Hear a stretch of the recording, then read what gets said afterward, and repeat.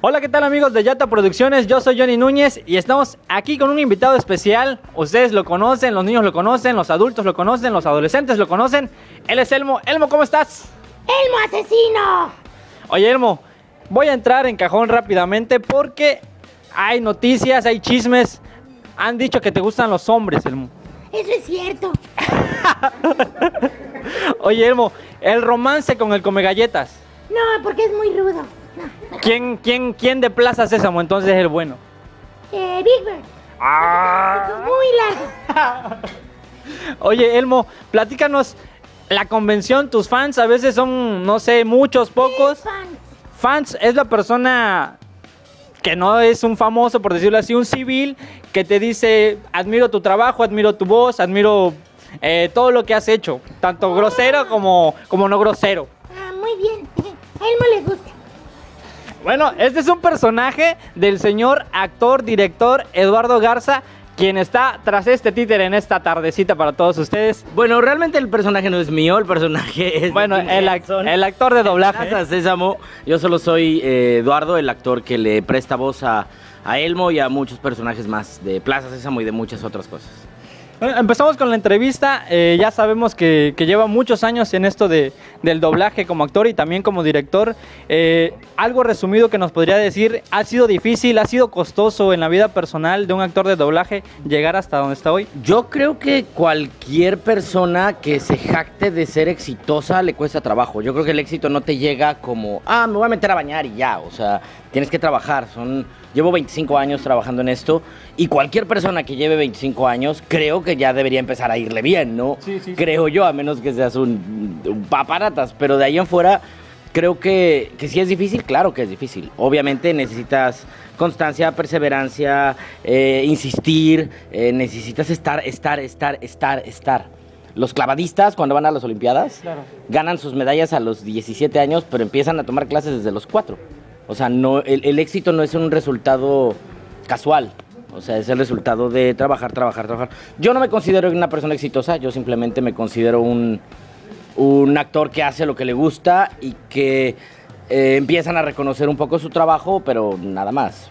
Eh, ¿Y cómo pasa de ser Eduardo, por decir, un adolescente y de repente te dicen, oye, hay un personaje, quisieras poner tu voz, quisieras actuar como, como actor de doblaje? No, eh, no, no fue así. ¿No? Eh, yo empecé a hacer doblaje a los 14 años porque yo quería ser actor. Me recomendaron entrar a doblaje porque el doblaje es una especialidad que te permite en la mañana ir a la escuela y en las tardes trabajar. Porque las telenovelas no te dejan trabajar, no te dejan ir a la escuela, el cine no te deja, el teatro es muy absorbente porque los ensayos son muy noche. Es muy complicado la vida de un actor adolescente. Y el doblaje es la única especialidad que te permite eh, compaginar la escuela con esto. Así que yo empecé a hacer doblaje y en, el, en qué momento dejé de hacerlo por hobby y empecé a hacerlo de manera profesional, no lo sé. Pero bueno, te puedo decir hoy que llevo 25 años y soy muy feliz haciendo lo que hago. En, en otras cosas, eh, las convenciones, ya le preguntaba hace ratito, que no le gusta este pues grabar saludos, porque lo entiendo, no es cansado y cada convención a la que va, pues es, dijeran, como el repetitivo. No es que no me guste, lo que pasa es que es cansado, o sea, porque no estás grabando en una condición óptima. O sea, yo puedo estar grabando todo un día en un estudio de grabación. Claro. O sea, en un estudio en donde tengo un micrófono, en donde está bien ecualizado, en donde no tengo que gritar, en donde es muy diferente grabar en un estudio de grabación a estar grabando en una convención en donde, hola, sí, este es un saludo para Pedro, te mando un abrazo y un kamehameha. Ok, y el que sigue. y, hola, es. Y imagínate a echarte así 200. Sí, no, pues es... Porque aparte está sonando Inhumano, allá. ¿no? Aparte está sonando allá la música a todo volumen. Hay gente platicando por acá. O sea, es muy cansado. De verdad es muy, muy cansado. Y hablando ya que usted decía de grabar en un estudio, empieza en un estudio, ¿cuántas veces se equivocó o se reía, se ponía nervioso? ¿Qué le decía el que estaba en ese momento como el director? Yo creo que uno siempre se equivoca. Hasta la fecha. Uno, uno no es perfecto, uno es perfectible. O sea, uno va a trabajar y cuando te tocan cosas complicadas, pues estás grabando y te trabas y estás grabando y ah, te- de pronto te equivocas, dices cosas que no. Eso es normal. Yo creo que empiezas a agarrarle seguridad. Yo creo que como después de unos cinco años. Cinco, siete años ya empiezas como a... Ah, creo que ya sé cómo se hace. Pero, pero ese es un punto malo. Porque después de que le agarras confianza, puedes caer en el error de confiarte. Y si te confías, empiezas a ya no aprender y ya no crecer y ya todo hacerlo igual. y- o sea, es un, es un poco complicado. Es un poco complicado el, el, el aprender y el crecer en ese negocio y el no estancarte.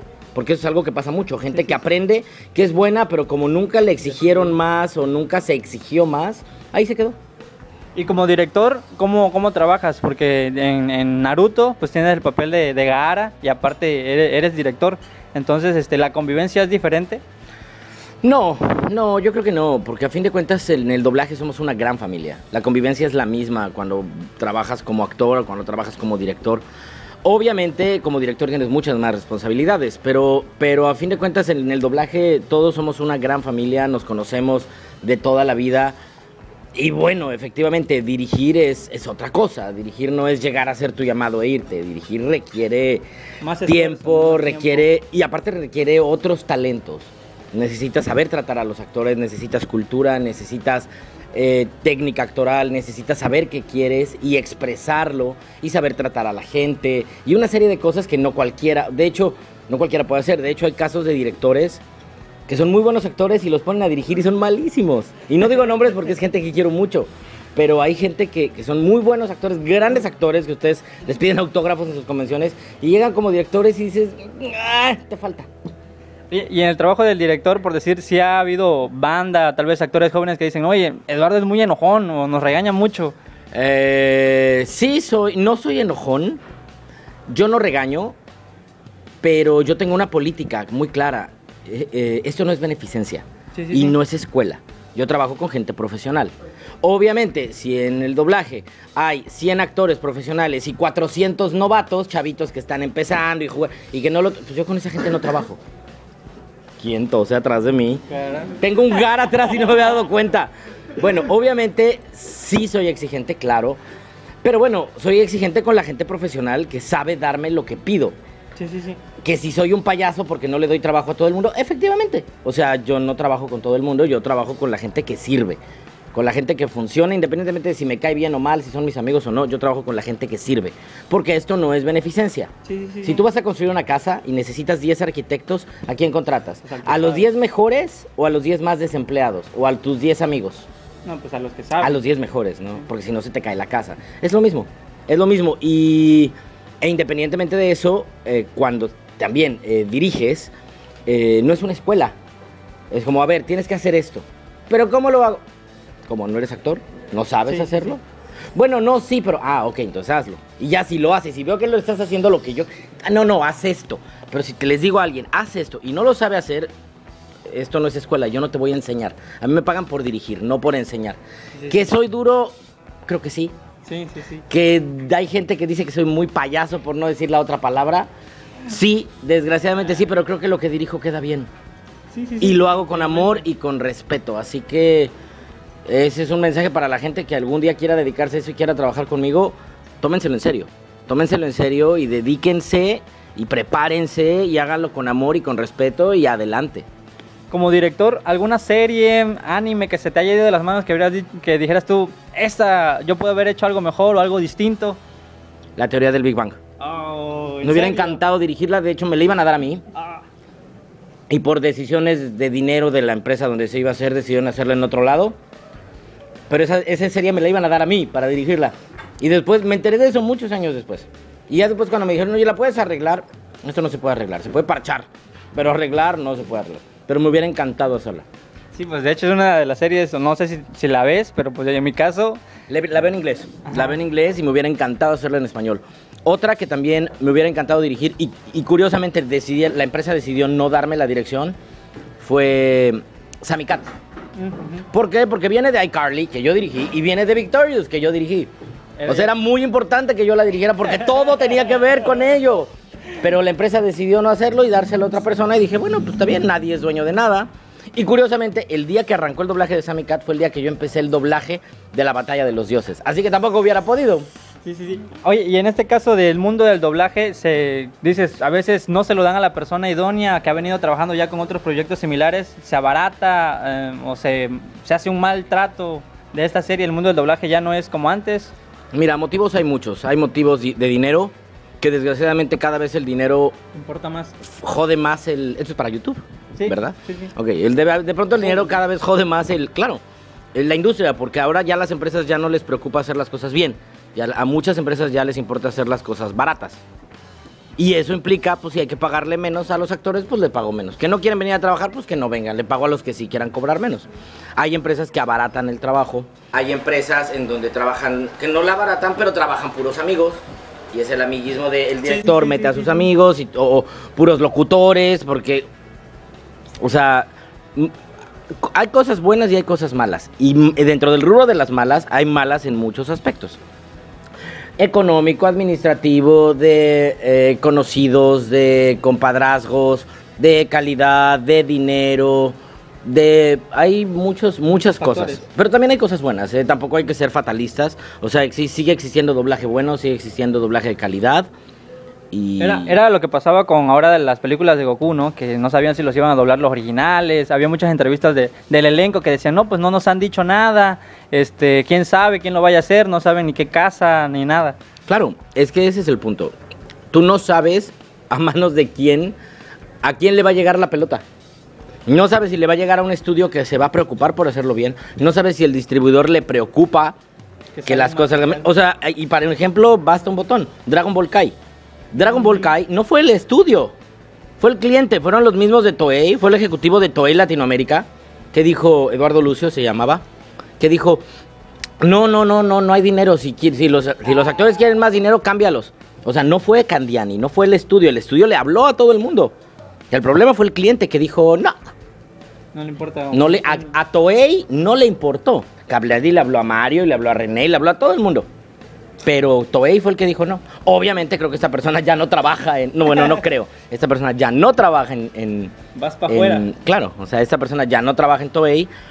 Y bueno, ahora creo que ya están como retomando esto y queriendo arreglar ciertas cosas. Pero tiene mucho que ver quién se encarga de todo. Y hablando un poquito de, de la vida personal de, de Eduardo, ¿cómo es un día? ¿Qué está haciendo Eduardo cuando no está doblando, cuando no está dirigiendo? ¿Cuál es de las cosas que más disfruta en un día? Ah, Eduardo, ¿qué disfruta? Eduardo disfruta...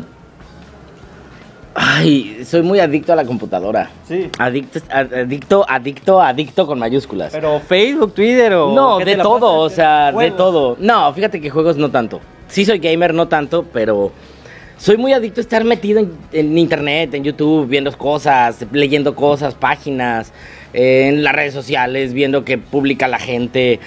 Me gusta, también me gusta salir con mis amigos, café, cenar, ir al cine, ir al teatro.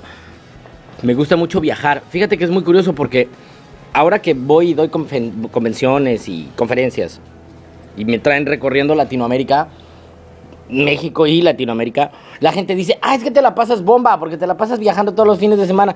¿Qué creen? O sea, que yo llego, me pongo el traje de baño y me voy al mar dos días. No, o sea, yo llego, me baño, me arreglo, me rasuro, me bajo, me entrevistan, me vuelven a entrevistar, platico, firmo, subo, eh, recojo cosas, bajo, como, voy, doy una conferencia, firmo autógrafos, acabo a las 9 de la noche, ceno, me baño, me muero. Bien madreado ya. Claro, despierto al día siguiente y corre porque tienes que estar en el aeropuerto a las 10 de la mañana.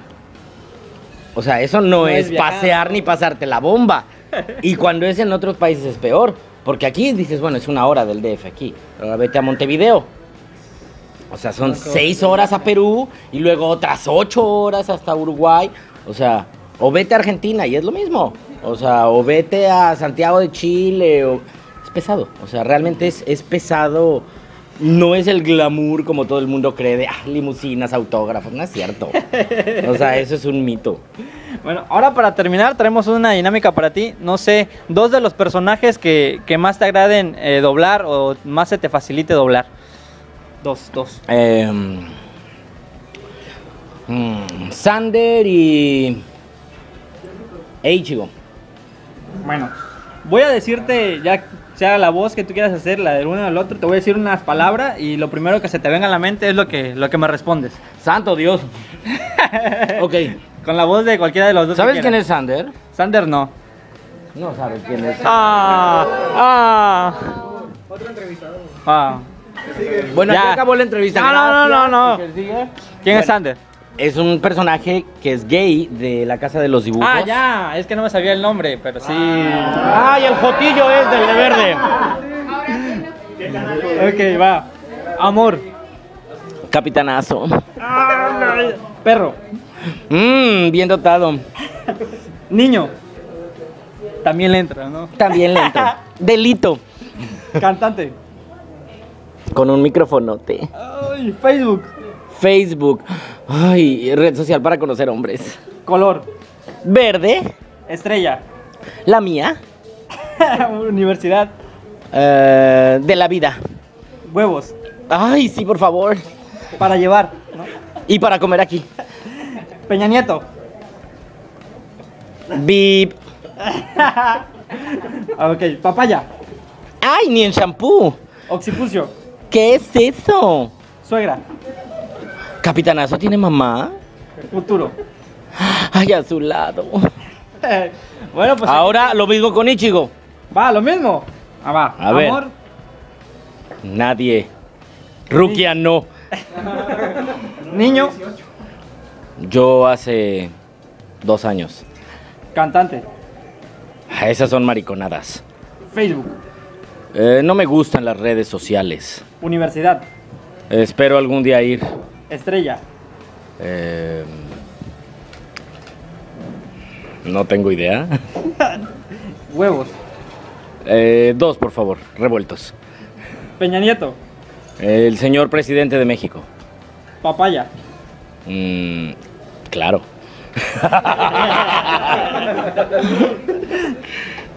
Anime. Yo no soy anime, soy de la vida real. Futuro. Eh, seré un Shinigami, perfecto.